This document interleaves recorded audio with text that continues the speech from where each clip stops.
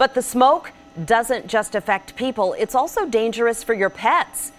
Devin Haskins is live in Northwest Portland this afternoon with a little bit more on that. So, Devin, should uh, what should I should say? What should pet owners look for? Is it always obvious?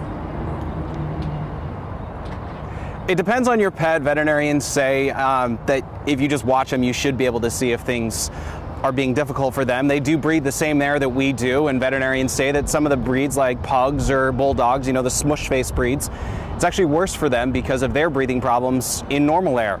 Veterinarians say that pets with chronic lung problems are the most susceptible to the poor air quality and should be closely watched when the air is this bad. You know, things to look out for difficulty breathing, coughing, sneezing, vomiting, or loss of appetite. If you're a cat owner, if a cat breathes with his mouth, mouth open, also to look out for that. Uh, you know, all, all dogs need to go outside to do their business. Veterinarians say, though, to limit those outdoor activities to just a few minutes.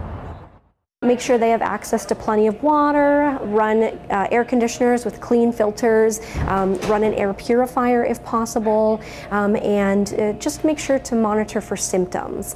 Uh, if you notice any respiratory symptoms, either have them checked by a veterinarian or give us a call.